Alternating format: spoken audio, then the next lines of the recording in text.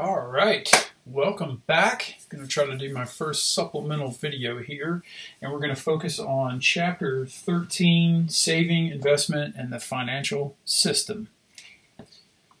Okay, quick word of wisdom here. This will not replace an entire week of lecture. Um, what I'm basically going to try to do is hit the hot spots um, and try to um, hit maybe some more troublesome areas and give some things, um, some highlights on things I think to be highly uh, important to understand. So, welcome to my home office. Um, temporary dry erase board. Hopefully, it doesn't fall over when I start writing on it.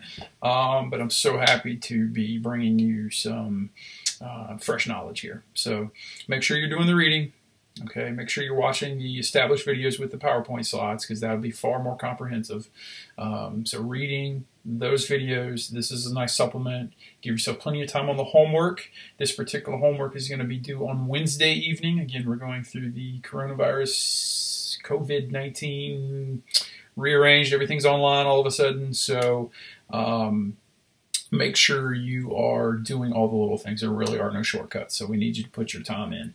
Um, so let's take a look. All right. So this chapter is all about saving, investment, in the financial system. All right.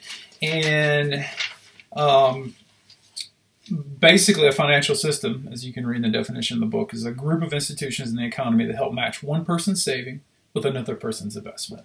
So normally when I'm teaching this classroom, I'd say, hey, okay, um, I've got this one person on the left-hand side of the classroom um, who uh, needs to borrow money to open up a new business, let's say a cupcake business. Um, and then I've got a dozen or more people on the other side um, that um, have some money they want to save in the bank. They want to collect interest. Um, we're going to talk a lot about interest rate in this chapter. Um, interest is just a price. Okay, it's the same thing. In fact, when we graph it here in a little bit, um, it'll go exactly where price does on the graph. It'll just say interest rate. Interest rates are a price you pay to spend money you don't have. So if you borrow money, um, you get to use money you don't have at the moment. Um, that's a price you pay to spend money you don't have. It's also, and where I really want to get you in life is when you have enough discretionary income you can save. Um, it's also where you get paid to forego using your money now. Now, interest rate is your friend. We're going to talk a little bit more about that in the next chapter. But um, the price you pay to use money you don't um, have, or the price you get um, to spend money that you do have that the bank can use to loan out. So how do banks work? Um, they're what's called a financial intermediary. They bring together borrowers and savers. It takes a, a good number of savers um, and a less number of borrowers. You have to have qualified borrowers. Have to, you know, be have to, you know, determine who's more likely to be able to safely pay them back plus interest. So um, that's how banks make money um, is interest. Um, they bring in uh, people's savings and they give them a, an interest rate down here, okay? And then they loan it out to people who are going to pay them back and they charge them an interest rate up here.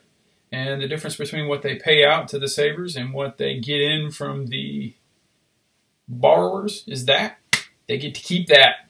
That's what buys marble for their lobby. All right, so always keep that in mind.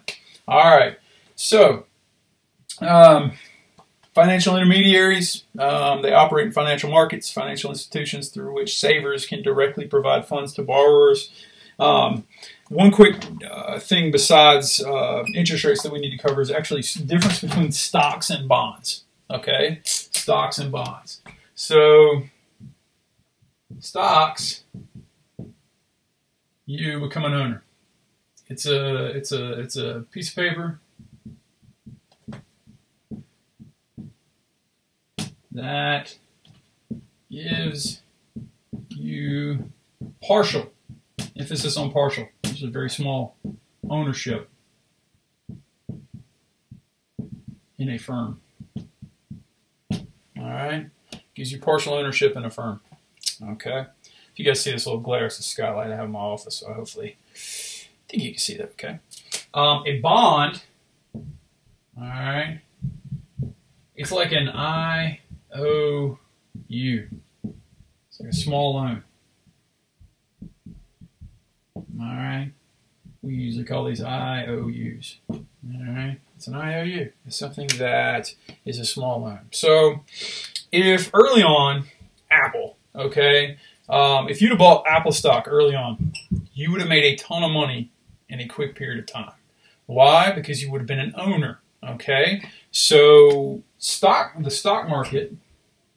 All right, this is inherently stocks are inherently high risk high reward. Okay? You can lose everything and you can make everything. All right? The risk is losing everything. The reward is making a gazillion bucks if you'd bought Apple really early. Or you could have sold Steve Jobs a bond, which is a small loan, and he would have just paid you that loan back, regardless of his um, ability to pay. So if he'd become a uber successful person that he did, um, you still would have just gotten back the, the terms of the loan. So a bond is inherently low risk, low reward. Low risk, low reward. So um, bonds are considered safer. All right but you won't make a ton of money. Okay, whereas stocks risky, but you know, high risk, but high reward. Okay, so how do you navigate this then in a financial market? Well, in the economy, if you look at it, despite what even's going on right now, okay, despite what's even going on right now, um, with the COVID 19 pandemic. Um, that's temporary, man. Stocks are on sale, by the way. Not time to buy, not to sell. Um, everything's on sale. It's like 50, 40, 50% off. Um, I've been tearing up the stock market. I highly recommend you do the same if you can. Buy stuff you've heard of Disney, Coca Cola, Google, Apple, blah, blah, blah. All right. Um, if you look at the, the, the U.S. economy, we start talking about GDP. We'll talk about that in another week. All right. If you look at the value in dollars over time. The stock market does that, right? All right. But on average, I can find my pins here. GDP does this. Okay. Stock market is a long run game. All right. U.S. economy typically grows between three to five percent a year. We'll probably see a lower end of that. We might actually see a little bit of recession this year, given what all's happened. Um, but the U.S. economy, on average, grows three to five percent year per year the problem is when people say, hey, I want to make quick money in the stock market, is they don't know if they're here, here, here, or here. They don't know if they're about to go up, if they're about to go down, if they're plateaued, if they're about to go up. They don't know. Okay? You just don't know. But what you do know is over time, that joker is going to go up. So you just got to give it time. All right? You just got to give it time. Um, so the idea is when you are younger, all right, when you're younger and you're looking at time here, you're back here. You have time to let the risk, all right, to inherit the risk, to reap the uh, reward. So you have all this time. You know in time you're going to be down here, all right? But when you retire, you're going to be up here, and you get to keep all this. Okay? You get to keep all that in between. Okay? But as you age, as you come down here, so over here, your portfolio need to be more stocks. You're younger. But as you transition here, so I'm talking like, you know, 90 10. All right? But as you transition here, you need, you're older, you need more bonds. Why? Because your retirement account over time, when you start out, you're lucky if like your retirement account when you're young, okay, have like 20K in it. All right? Let that roll, man. Let that roll. All right? As you enter retirement age, before retirement age even, let's say you've got 500K in there. All right? 500K at retirement age. Do you need to be putting that in the stock market?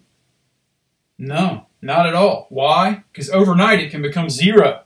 All right, you've seen the stock market just absolutely tank. A lot of older folks are losing all their money. Why? Because they have way too much in stocks and not enough in bonds. Okay? Way too much in stocks and not enough in bonds. Sorry, my computer just went to sleep. I didn't think it would do that while I was recording. Give me a second. He's going to get up close and personal with me. Little commercial break. How about that? Thanks, Apple. All right. Still with me. Thank goodness. Okay?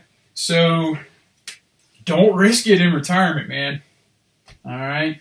In as, you, as you approach, like from here on out, so like 90 10 here, and you get like midlife, you're kind of like, you know, 60 40 maybe, depending on your level of risk. You get over here and you're, you're, you're 1090. A little bit in the stock market, but you need lower risk. Why? Because you're about to take all that money out and spend it in retirement. This is the good years, man. Buy yourself a beach house or something. Cool. Is that understood? All right. Great. Like I'm going to get a reply from the computer. Uh, man, I miss having y'all in class because like one of y'all would be asleep right now. I'd go over there and mess with you.